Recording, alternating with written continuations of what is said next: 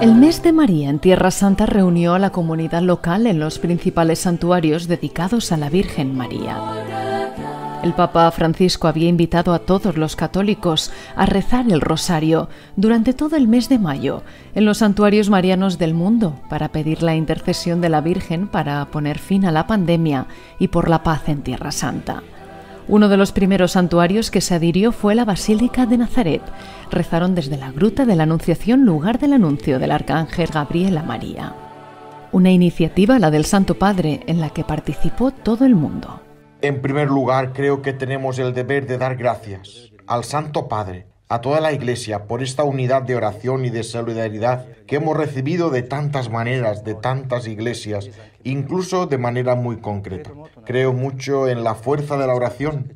Si hay algo que nos une a todos es el amor a la madre. Donde está la madre está el hogar, está la familia, hay unidad.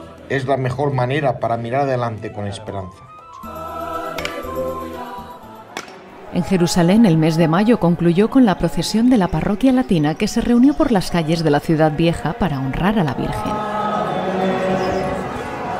En un primer momento, todos los fieles se encontraron en la iglesia parroquial de San Salvador para participar en la Santa Misa celebrada por Fray Amjad Sabara, con la presencia de Monseñor Pier Batista Pizzabala, patriarca latino de Jerusalén, Monseñor Jacinto Marcuzzo y Monseñor Kamal Batish.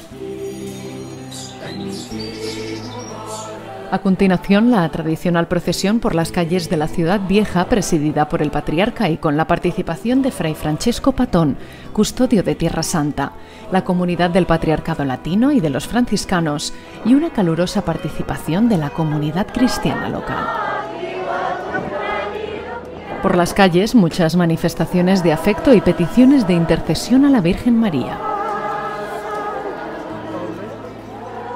Cada uno expresa la fe según su corazón, como esta señora que se sienta junto a una pequeña imagen de la Virgen y reza por la paz.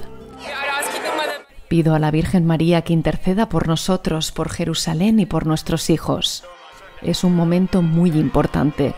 Toda la comunidad de Jerusalén participa en esta procesión. Nuestra esperanza, nuestra oración es quedarnos aquí. Que la Virgen nos ayude, que la Virgen esté con nosotros.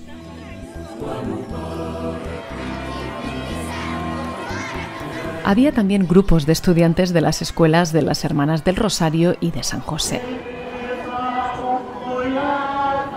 La procesión se detuvo en el patio del Collège des Frères. El icono de la Virgen, llevado para la veneración de todos, continuó su camino hasta llegar a la concatedral del Patriarcado Latino, donde tuvo lugar una oración común. La procesión hizo a continuación el camino inverso, hasta el patio del convento de San Salvador, donde tuvo lugar la bendición final.